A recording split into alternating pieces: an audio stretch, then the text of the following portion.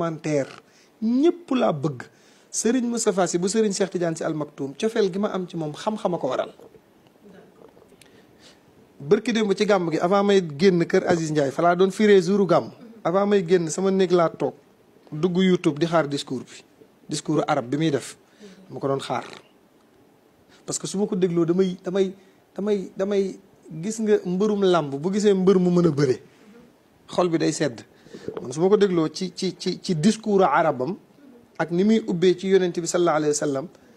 daf may neex sama cofeel dafay gën a yokk ci moom cofeel gi am na ba pare te dara du ko dindi sama sëriñ la ci kër gi sama sëriñ la ci kër Seydil Hadj Malick tey laa ko gën a sopp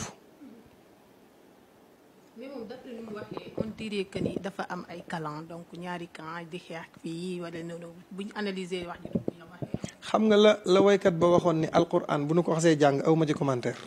damay jàpp ne rek waxu yàlla la man loolu lay dund fi mu ni Serigne Moustapha sëriñ Habib ak sëñ Moustapha bu sëñ Abdou Aziz Al Amin ak sëriñ Mansour euh, sëñ Mansour si Jamil ak sëriñ Cheikh Tidiane si Mansour ak njabootu alaaji Malick gi ñoom ñëpp bu ñu waxoon 30 minutes la ma ca intéressé te nekk njëriñ laay jël après li ci des man duma ko topp dégg nga wax bi xam nga alquran daf ni woon am na ñoo xam ne bu ñu déggee wax sami'na wa ata'na dañuy dégg xool la cay njëriñ ñu jël yóbbu man noonu laa mel njabootu alaaji Malick gi aw ma ci parparloo dama laa wax ni la sëñ Mansour si Jamil